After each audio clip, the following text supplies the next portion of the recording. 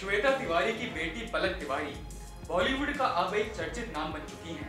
इन्होंने अपने डेब्यू गाने बिजली बिजली से चारों ओर तहलका मचा दिया था। और इसके बाद इन्होंने सलमान खान के फ़िल्म किसी का भाई, किसी की जान से अपना बॉलीवुड डेब्यू भी किया था। तो ये थी इनकी प्रोफेशनल लाइफ लेकिन इनकी पर्सनल लाइफ को लेकर भी काफ़ी चर्चा रहती है। और इनका नाम काफ़ी लंबे वक्त से सैफ अली खान के बेटे इब्राहिम अली खान से जुड़ता आ रहा है।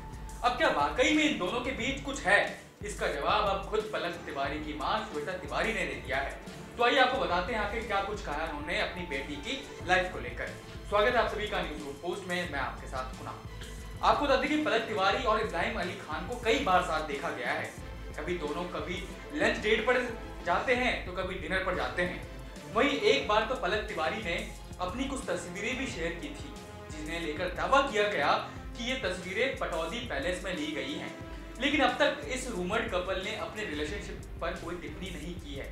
लेकिन इस बीच पलक की माँ और टीवी एक्ट्रेसेस श्वेता तिवारी ने ज़रूर पलक के रिलेशनशिप पर चुप्पी तोड़ी है। अब इसको लेकर काफ़ी चर्चा भी हो रही है। श्वेता तिवारी ने एक बातचीत के दौरान कहा कि पलक अब मज़बूत है, लेकिन कल को कोई कमेंट या आर्टिकल उनके आत्मविश्वास को ठेस पहुँचा सकता है। वो अभी बच्ची है। और कभी कभी चीज़ें इतनी क्रूर हो जाती हैं, जैसे उसका हर दूसरे लड़के के साथ कोई अफेयर हो। मुझे भी नहीं पता कि वो सब, ये सब क्या है, वो बर्दाश्त कर पाएगी या फिर नहीं। यहाँ तक कि वो अपनी डेटिंग की अफवाहों को लेकर भी हैरान हो जाती हैं, वो इसका मज़ाक उड़ाती है।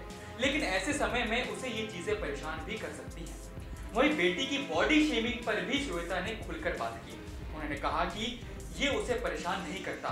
उसे शुरुआत में बुरा लगता था। लेकिन अब उसे पता है कि ऐसे भी लोग हैं जो उसकी तरह दिखते हैं। कुछ ऐसे लोग भी हैं जो उसकी तरह दिखना चाहते हैं। उसे पता है कि उसने बहुत हार्ड वर्क के बाद ये सब कुछ हासिल किया है। वैसे आपको बता दें कि इससे पहले खुद पलक तिवारी भी इब्राहिम संग डेटिंग रूमर्स पर प्रतिक्रिया दे चुकी है। उन्होंने एक इंटरव्यू में कहा था कि वो और इब्राहिम एक अच्छे दोस्त हैं। इससे ज़्यादा वो कुछ नहीं है। तो फ़िलहाल देखा जाए तो श्वेता तिवारी और पलक ने इन सभी बातों को अफवाह ही बताया है। अब आगे देखते हैं, होता क्या है? क्योंकि ये बॉलीवुड है भैया।